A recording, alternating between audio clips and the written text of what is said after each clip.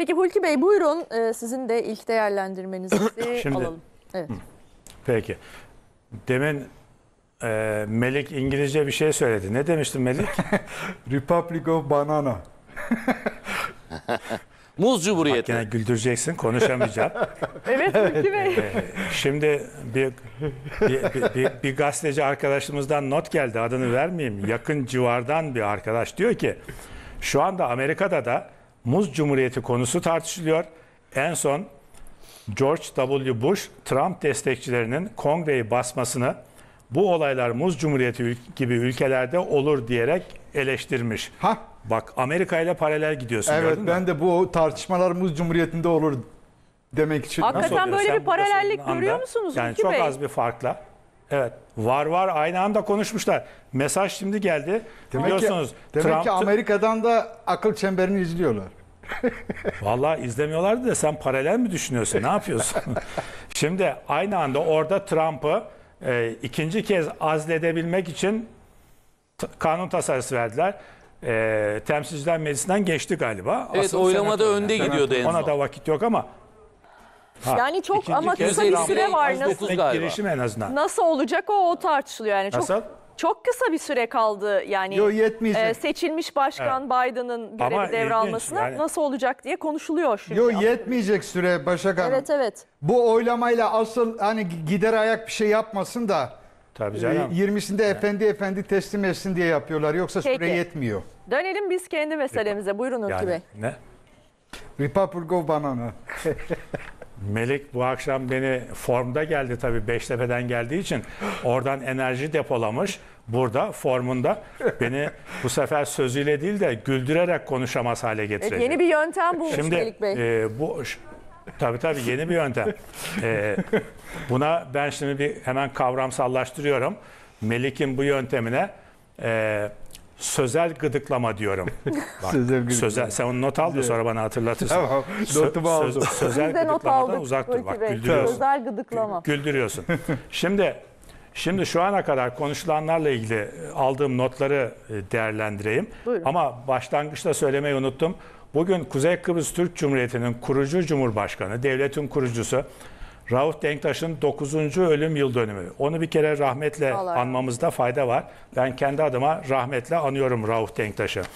Ee, oradaki soydaşlarımızın ezilmemesi için Cumhuriyeti KKTC'nin kuruluşundan ölümüne kadar can siparhane hakikaten de canını verecek kadar ki o, o yolda can verdi, vefat etti. Evet. Ee, büyük çaba harcadı. Rahmetle anıyorum Rauf Denktaş'ı.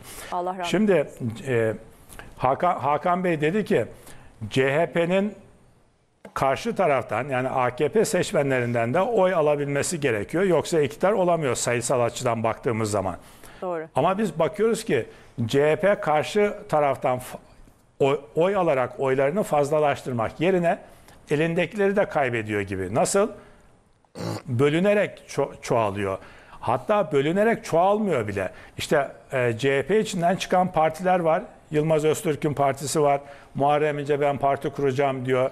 E, istifa etmemiş ama ben parti kuracağım diyor. E, Mustafa Sarıgül'ün partisi var. E, bırakın AKP tabanından oy almayı e, kendi tabanına sahip çıkabilmek gerekiyor diye düşünüyorum. E, umut bağladığı yerler Babacan'ın ve Davutoğlu'nun partilerinden de e, pek bir şey çıkacağını zannetmiyorum. Onları iktidara götürmek açısından. Şimdi Türkiye'de e, dediniz ki Hakan Bey'e bunları CHP'ye olan eleştirileri ya da bazıları eleştiri değil öneri aslında Hakan Bey'in CHP'ye yaptığı oyunu artırabilmesi için şunları şunları yapması gerekir diyor. Kaç kere söylediniz bunları diye sordunuz. Şimdi hani e, bir söz var ama ekrandayız. Yanlış anlaşılır e, mı bilmiyorum. Melik reklam arasında ben onu sana sorayım. E, eğer sen onaylarsan dönüşte o cümleyi söylerim. Şimdi e, insanlar gerçeklerle yüzleşmekten hoşlanmazlar. Herkes öyle, hepimiz öyleyiz. Hele güç sahipleri hiç hoşlanmaz. Şimdi Türkiye'de bütün dünyada olduğu gibi merkezi otoriteler, güç odakları var. Türkiye'deki güç odağı, güç merkezi neresidir? İktidardır. Peki başka yerel güç odakları, güç merkezleri yok mudur? Vardır. Her siyasal partinin yönetimi birer güç merkezidir kendi çapında. Onları da daha küçük yerel diyelim. Tür- Türkiye çapında partiler bunlar ama olsun. E, iktidar ellerinde olmadığı için daha küçük yerel güç odakları. Ve bizler bireyler olarak biz de kendi çapımızda, kendi çevremizde güç odağıyız. Hepimiz burada 6 kişi bizi izleyen vatandaşlar.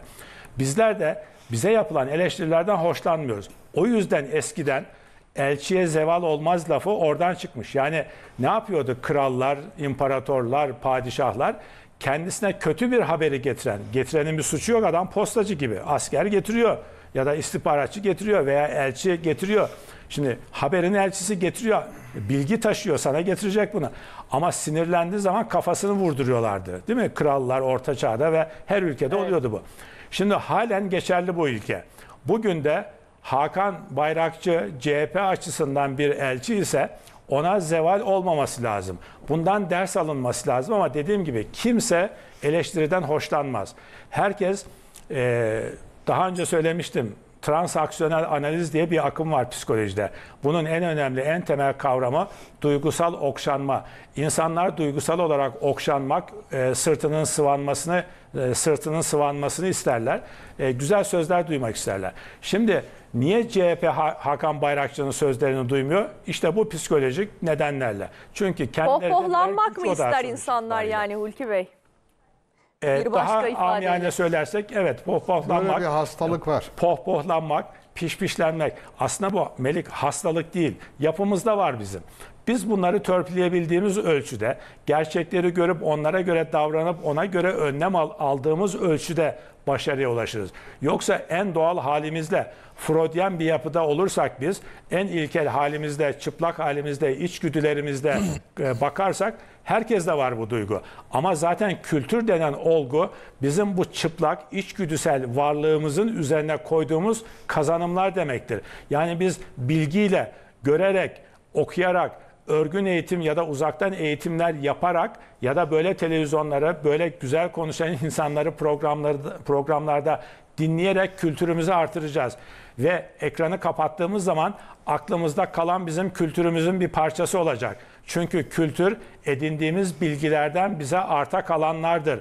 Kültür bir toplumun ve bireyin en önemli unsurudur. Şimdi bizim siyasal kültürümüze bakalım o zaman. Bakalım. Kültür çünkü siyaseti kapsıyor, psikoloji kapsıyor, hayatımızın her alanını kapsıyor. Her davranışımız kültürün bir parçası. Sosyal antropolojinin de ana kavramı kültür. Siyas- siyaset kültürümüze bakalım. Az önce Ruşen Bey kavram bazı kavramları saydı. Ben Ruşen Bey söylemeden not almıştım.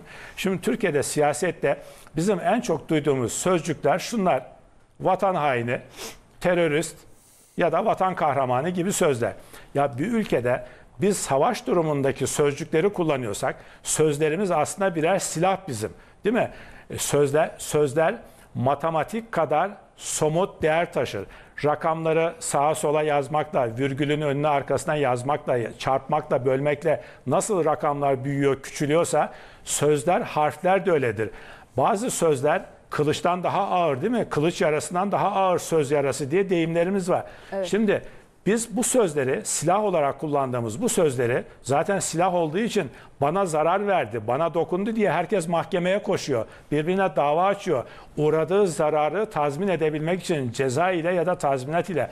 O zaman biz bir savaş ortamında söylenecek bu sözel silahlarımızı vatan haini, terörist bunları düşünmemiz lazım. Biz niye günlük yaşamımızda, gündelik sosyal yaş- hayatımızda ya da siyasal alanda niye e, bilimsel kavramları kullanmıyoruz, duymuyoruz? Bak bakın bugün Ne- Melik'in gittiği katıldığı ödül siz töreninde bunun cevabını veriyorsunuzdur Hulki Bey? Neden bu tercih ediliyor peki? Yani savaş ortamında kullanılacak ifadeler de bunlar diyorsunuz. Vereceğim de bunu sormanızı bekliyordum zaten. Ee, veriyoruz şöyle. Ee, çünkü insanlar şiddetten besleniyor. Sembolik, simgesel şiddetten besleniyor. Şimdi düşünsenize Türkiye'nin sakin bir siyasal ortam olduğunu. İktidarla muhalefet hani geçen pazartesi günü Zafer Şahin demişti e, öyle yumuşak politika olmaz biraz da sert olacak gibi konuşma yapmıştı. Tam tersi olduğunu varsayalım bugün Türkiye'de. E, darbeler yapılmıyor, Kenan Evren darbe yapmamış, 61 darbesi olmamış, 15 Temmuz olmamış falan. Ve herkes, bütün liderler birbirlerine kardeşçesine sarılıyor. Tıpkı Melik'le bizim olduğu gibi değil mi Melik? Evet. Görüşlerimiz Ha, farklı da olsa. E, diyorsun. ikimiz de parti genel başkanı olsak demek ki kavga isteyen seçmenlerden ikimiz de oy alamayacağız. Olsun. Biz kültürel bakalım ama seni genel başkan yapacağız ileride inşallah. Şimdi böyle bir ortam olsa biz ne yapacağız bütün kitle olarak? Ne Sakin bir ortam olduğu için sessiz sessiz bir ortam olacak. Sessiz bir toplumsal yaşam olacak ve biz o sırada düşünmeye başlayacağız. Düşünmek demek sorgulamak demek. O zaman Hakan Bayrakçı'nın sorduğu soruları bütün millet sormaya başlayacak. Ya CHP niye oy, e, oy alamıyor? Niye iktidar olamıyor bunca yıldır diye herkes soracak. Şimdi biz insanlar bu ve benzeri soruları sormasın diye kavga ediyoruz. Gerçekleri gürültünün arkasına saklamak bu parti liderlerinin de hoşuna gidiyor. Etrafındaki bazı herkesi kastetmiyorum yanlış anlamasınlar. Her parti liderinin etrafında çok samimi insan olduğu gibi e, çok fazla avanesi de vardır. Onlar da hoşlanıyor bundan. Bir dernek başkanının etrafında da böyle avaneler olabilir. Bir futbol kulübü başkanının etrafında da olabilir. Bunların hepsi birer büyük ya da küçük örgütlenmedir. Ya siyasal örgütlenme ya demokratik örgütlenme. Her örgütte çalışan verimli insanlar olduğu gibi boş gezen ama iş yapar iş yapar görünen avane takımı vardır. Onlar da hallerinden mutlular. Ee, ben bunu devam ettireyim ki bu yanımdaki genel başkan, lider, kulüp başkanı, dernek başkanı devam etsin. Benim de bu varlığım sürsün. Çünkü bu insanların bir kısmı, hepsi değil bir kısmı e, onları oradan aldığınız zaman e, akvaryumdan çıkmış balık gibi olacaklar. Ellerinden bir yetenek gelmiyor.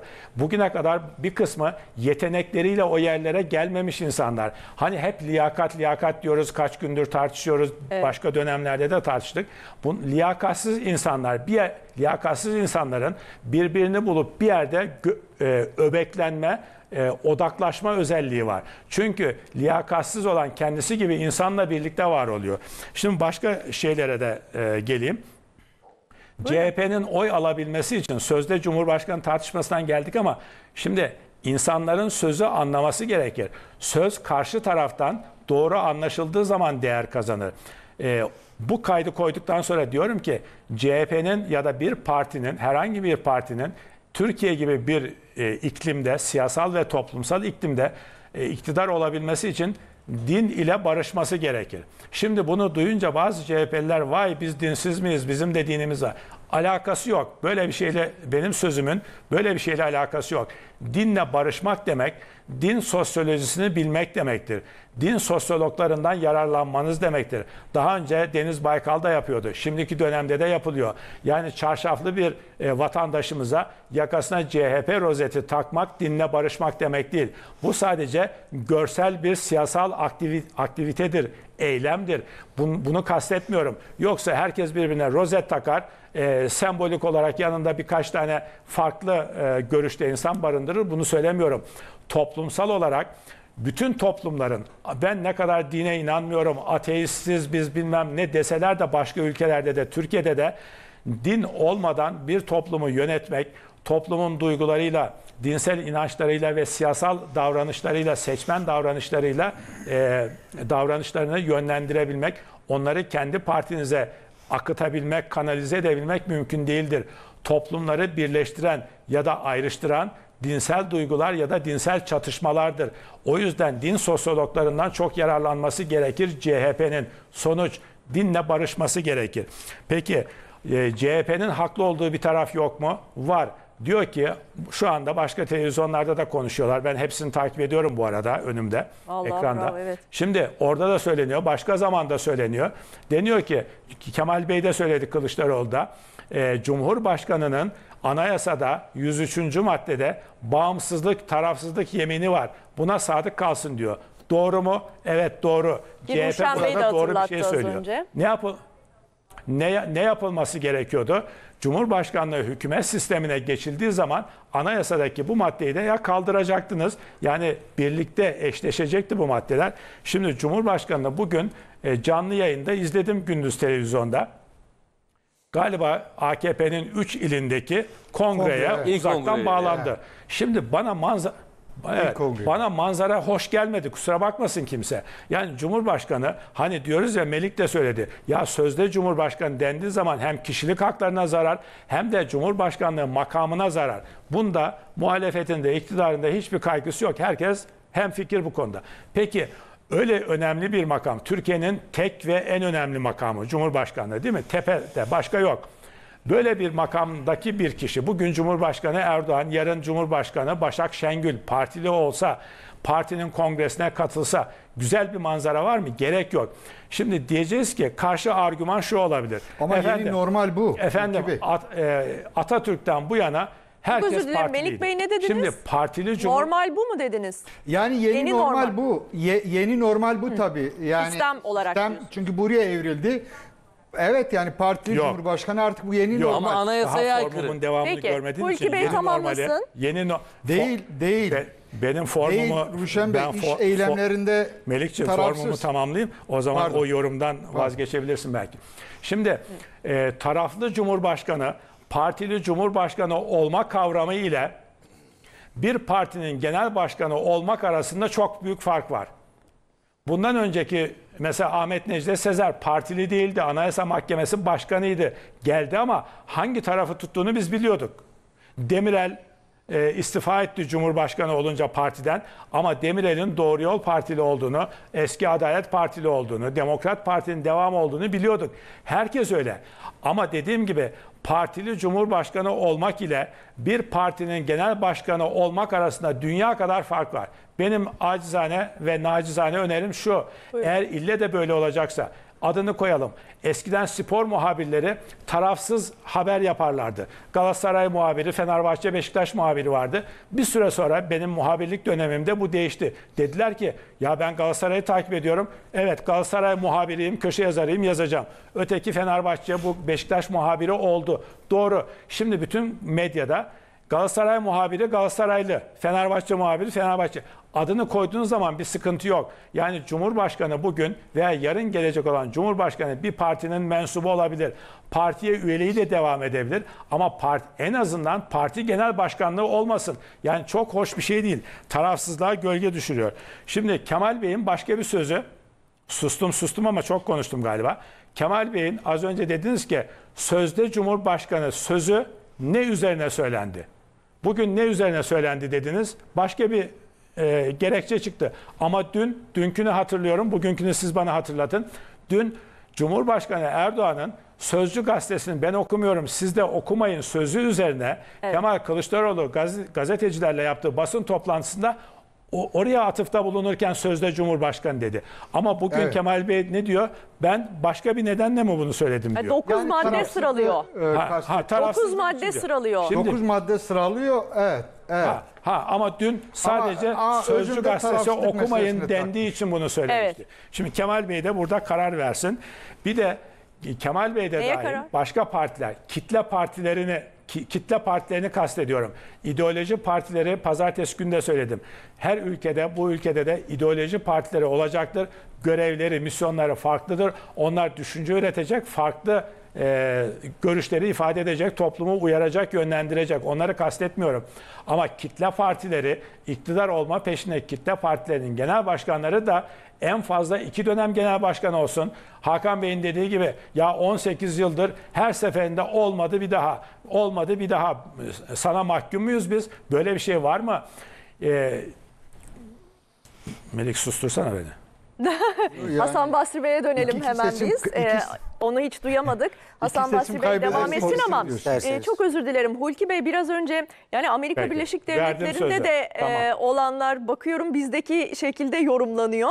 E, orada e, MHP lideri Bahçeli'nin açıklamasında bu? Kılıçdaroğlu'nun sözde Cumhurbaşkanı ifadesiyle ilgili e, ona yönelik yaptığı eleştiride bir ABD göndermesi var. Birazdan ona bakalım.